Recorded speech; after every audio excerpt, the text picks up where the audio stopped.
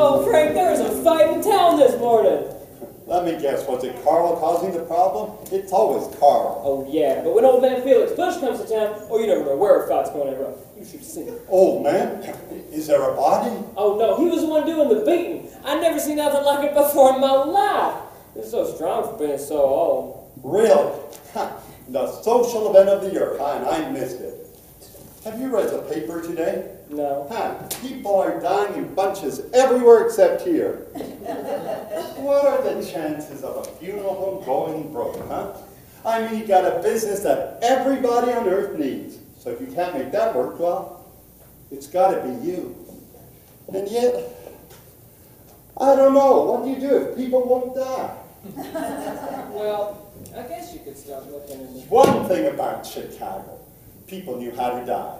They drowned, get run over, got shot, or whatever it takes. Well, we get it done around here. We're just not in a big hurry. Well, it's them or us.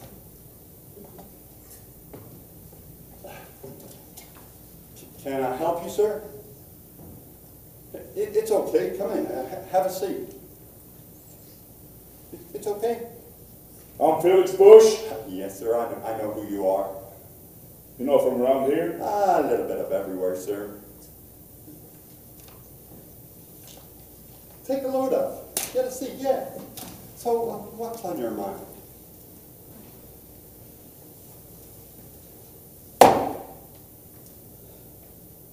It's about time we to get low.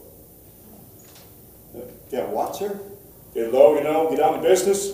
I need a funeral. For whom? For me. For you. You want a funeral for you? Am I not talking right? I, am sorry, sir. Are you sick? Everybody dies. Uh-huh. So I'm after a funeral. Boy, are you not! We have all kinds of fine resting places. This one, this one's made out of oak. This one's cedar. Oh, and this top of the line, probably what you're looking for. Forget about the box. What else you got? Uh, whatever you want, sir. Uh, flowers? No. Uh, burial place? Got it. A service? A party. A what? A party! Uh, well, what kind of party? A funeral party? We can do that. And I want to be there. Oh, you will be. I guarantee it. I want to be there now.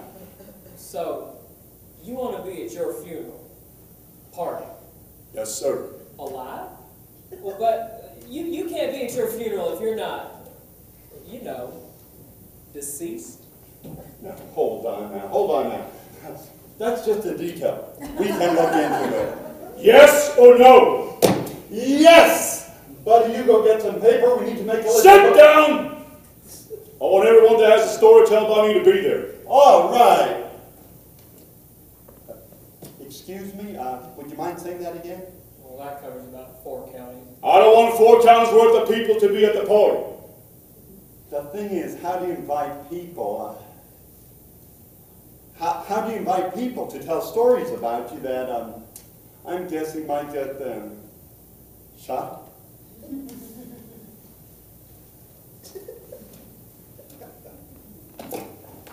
You know what? You know what? Don't worry about it. We'll work out the details. You know what? You go on ahead. We'll work out the details. You know what? An idea came to me right now. Like what? Oh, Felix?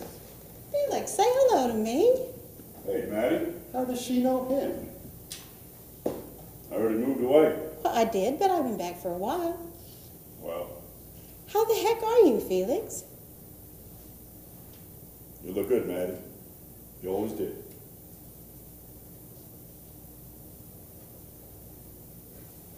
Did you see the size of that thing? The size of what? What do you mean what? That damn ball of money. if he wants a party with pink balloons hanging from his ears, we'll give it to him. Frank, we can't throw... Look, I sold 26 of the ugliest cars ever made one December in Chicago with the wind blowing so cold up my rear, I was burping snowflakes in July. so don't tell me we can't do this. But the whole thing about making a carnival about somebody's death? Oh, it's just not right. Look, that's the last thought I'm going to hear from you, do you understand? You're a salesman. If you want me to continue employing you, you better go out and sell now. Get out there and sell. Hurry up, come on, get out there and tell, and don't come back until you have an order. Get out there.